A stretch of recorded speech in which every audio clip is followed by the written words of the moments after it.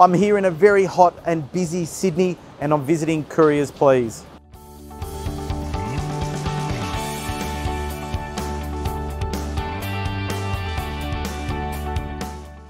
Couriers Please is one of Australia's largest e-commerce and small parcel courier organisations that are delivering over 19 million parcels every year throughout Australia.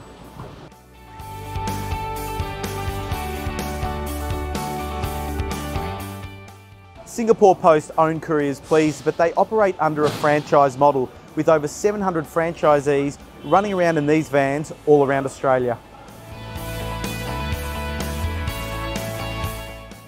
As you can imagine, shipping over 19 million parcels across Australia, utilising the network of over 700 franchisees takes a lot of coordination and Zebra is playing a part here in helping Couriers Please make sure that the right parcels are getting to the right places on time.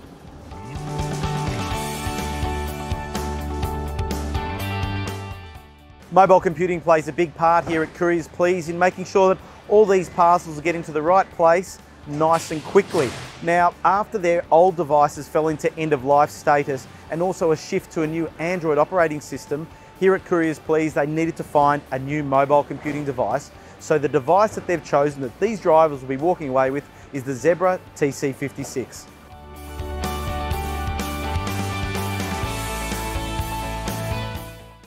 Come out of the heat and the noise to tell you a bit about the Zebra TC56 mobile computer. Now this mobile computer is considered to be a pocketable device. That means you can carry it around in your pocket a bit like a smartphone. It looks like a smartphone, but don't be mistaken that this device is no lightweight. It is a rugged device.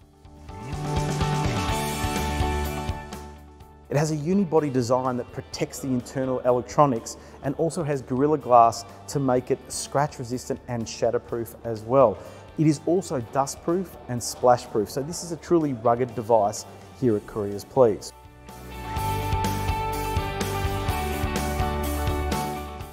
But there's more.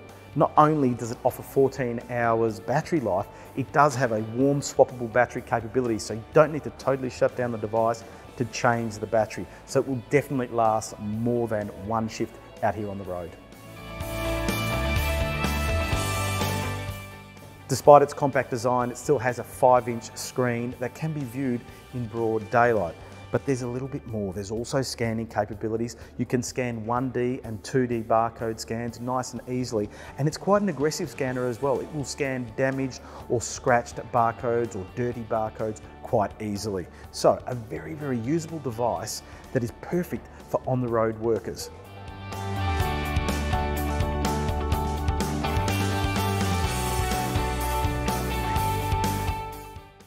We see mobile computing technology as an enabler to our business. Um, we see now more and more that drivers have less time to actually be in front of any devices, so having that ability to move around while they can do their day-to-day -day operations is a real bonus. And that goes um, hand in hand with our depot staff who also need to be constantly moving so in fact, um, mobile technology needs to be cleaner, easier to use, and especially in our environment, needs to be an, uh, a rugged device so that we can actually be a little bit more rough with it in our environment.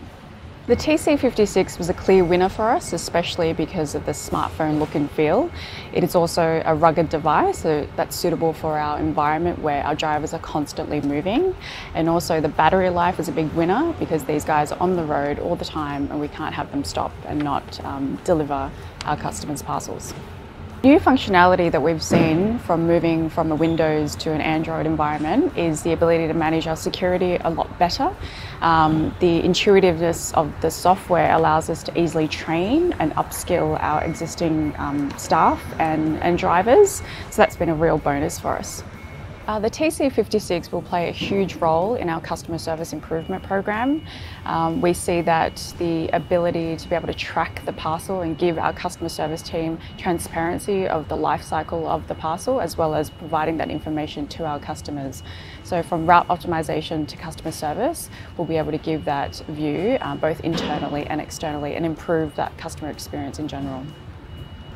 Mobile computing for us is an enabler for our business, um, paired with, I think, um, what Telstra or Optus are doing with their 5G network and other um, technologies, it's getting to into a space where mobile technology would have to be used with um, AI, machine learning, and all the components that make um, an intuitive smart network.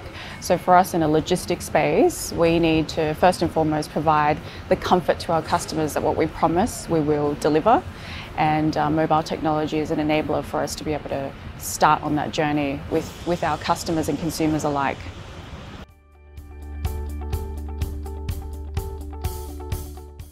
Couriers Please have moved to an Android-based application, so the TC56 with its Android operating system is perfect for them. Now what that means is they've got a nice intuitive screen layout that's easy for the franchisees to adopt and use on a daily basis. And what does that all mean? Well, they can be up and running and more effective with their solution quicker.